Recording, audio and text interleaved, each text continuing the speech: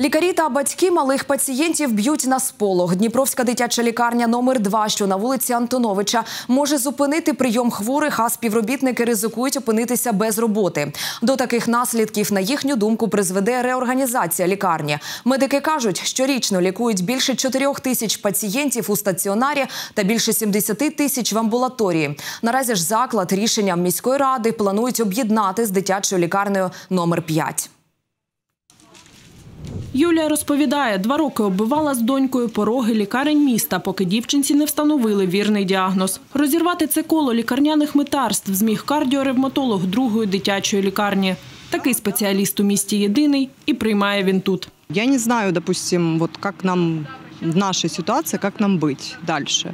Допустим, мы получаем э, биологическую терапию, которая предоставляется только в этом учреждении. Із запитанням, як бути, нині залишаються ще тисячі батьків, діти яких тут лікуються. Лікарня працює у центральному районі, проте обслуговує маленьких пацієнтів з усього міста. Сейчас школа пошла, тоже постоянно кашель, постоянно нужны какие-то прогревания. На массажи мы ходили, нас принимали. Раньше и бассейн был, мы ходили. Ну, Как постоянно мы здесь, я даже не знаю, куда мы можем еще обращаться.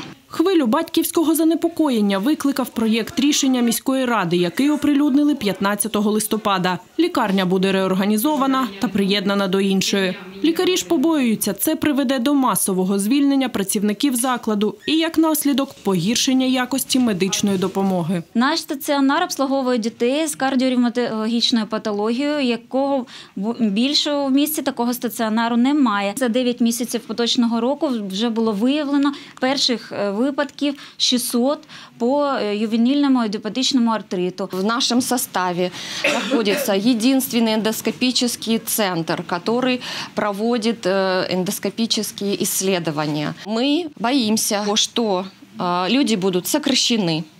Потому что слияние э, двух организаций, которые имеют дублирующие структурное подразделение, понятное дело, что они подразумевают под собой сокращение людей. Про плани департаменту охорони здоров'я міськради щодо їхнього закладу колектив дізнався випадково в інтернеті. За цим же проєктом лікарня має переїхати до приміщення п'ятої лікарні, яка нині перебуває на реконструкції. Із запитаннями про свою подальшу долю лікарі звернулися до міськради. Проте Мы э, обоснованных ответов и каких-то доводов э, относительно того, как, в, каком, в каком виде мы будем дальше существовать, мы не получили.